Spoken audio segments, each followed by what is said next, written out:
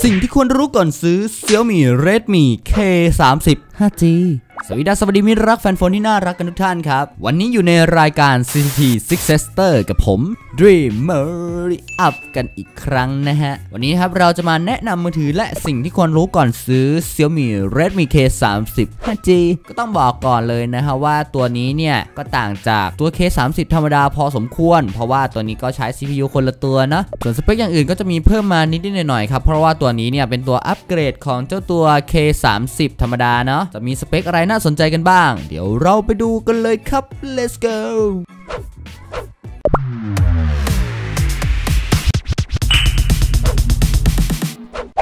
เรามาเริ่มกันที่เรื่องแรกกันดีกว่าครับ นั่นก็คือเรื่องของหน้าจอตัวนี้ให้ขนาดหน้าจอมาที่ 6.67 นิ้ว ใช้ชนิดหน้าจอเป็น IPS LCD ความละเอียดอยู่ที่ Full HD Plus ครอบทับมาด้วยกระจก Gorilla Glass 5 แล้วก็รองรับ HDR10 นะฮะ ค่า refresh rate หน้าจอครับจะอยู่ที่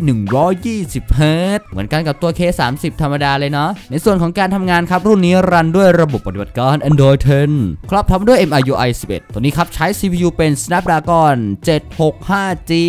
ซึ่งต้องบอกว่าน่าจะเป็นซีรีส์ใหม่ของทาง Snapdragon นะฮะอีตัวซีรีส์65 ที่เป็นเลขข้างหลัง เพราะว่าผมก็เพิ่งเคยได้ยินเหมือนกันนะครับ ส่วนประสิทธิภาพของมันจะเป็นยังไง เดี๋ยวก็ต้องลองซื้อมาทดสอบดูกันแหละเนาะ GPU ครับใช้เป็น Adreno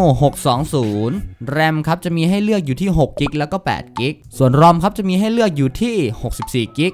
128 GB และ 256 GB เป็น UFS 2.1 นะฮะ ส่วนตัวกล้องหลังครับตัวนี้ให้มา 4 ตัว Quad Camera ตัวหลักจะอยู่ที่ 64 ล้านพิกเซล รูรับแสงอยู่ที่ f 1.9 เป็นกล้องเลนส์วายนะครับ บวกมาด้วยกับเลนส์ ultra wide อีก 8 ล้านพิกเซล เลนส์ macro อีก 2 ล้านพิกเซล แล้วก็เลนส์ depth sensor อีก 2 ล้านพิกเซล ตัวนี้ครับสามารถถ่ายวิดีโอกล้องหลังความละเอียดอยู่ที่ 4K 30 frame rate ในส่วนของกล้องหน้าครับตัวนี้ให้มา 2 ตัว Dual Camera ตัวหลักครับจะอยู่ที่ 20 ล้านพิกเซล รูรับแสงอยู่ที่ f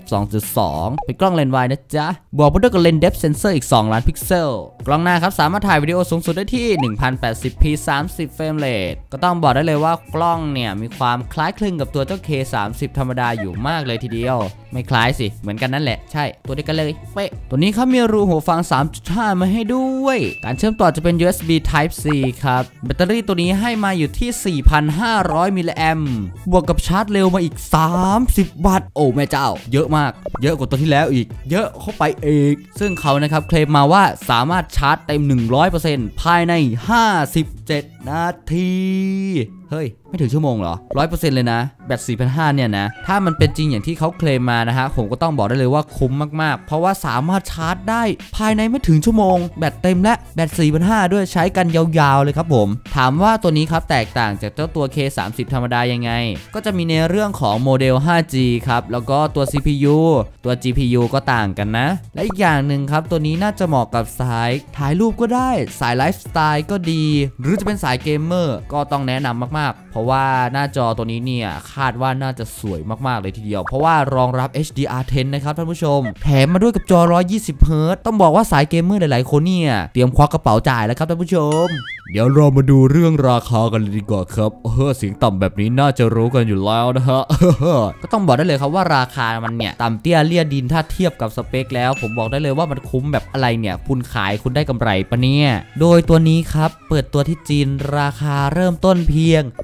8,900 บาทท่านผู้ชมฟังไม่ผิดหรอกครับ 8,900 บาทจริงๆ เดี๋ยวมาดูรายละเอียดกันดีกว่าครับ ตัวแรม6กิกรอม64กิกครับราคาจะอยู่ที่ 8,900 บาท ตัวแรม 6 กิกรอม 128 กิกครับ จะอยู่ที่ราคา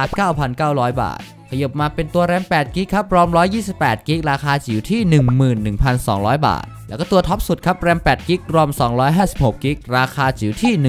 12,500 บาท ต้องบอกได้เลยครับว่านี่เป็นราคาเปิดตัวที่จีนเนาะถ้าเข้าไทยมาก็อาจจะบวกค่าภาษีค่าอะไรต่างๆ น่าจะบวกลบไม่เกิน 2,000 หรืออาจจะถูกกว่า หรือแพงกว่า ก็ต้องรอดูกันอีกทีเนาะซึ่งที่ไทยของเรานะฮะในตอนนี้ก็ยังไม่รองรับ 5G นะฮะ ถ้าคนซื้อมือถือรองรับ 5G มาแต่ใช้ 4G อยู่ก็ก็ได้นะครับ เพราะว่าราคามันก็ไม่ได้แพงจนเกินไปอะเนาะทุกคน แถม CPU ยังเป็น CPU ตัวใหม่น่าสนใจมาก ๆ เลย จออีก 120 Hz เออสายเกมเมอร์ผมว่าพวกคุณน่าจะได้มือถือที่ถูกอกถูกใจกันหลาย ๆ คนเลยนะ